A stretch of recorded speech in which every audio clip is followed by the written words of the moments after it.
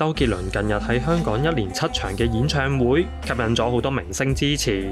喺十一号嚟到第五场，邓紫棋就带同男友阿妈一同现身，仲喺台下揭露咗十四岁嗰时同周杰伦嘅一段往事，引起热议。我小时候，诶，尝试过在你一首歌上面改编歌词，然后寄到你公司的。哦，真的吗？我那时候十三岁。哇，结果呢？结果你公司完全没回过我。哎，我们唱片公司的人呢？这个早就该签下来了，是不是？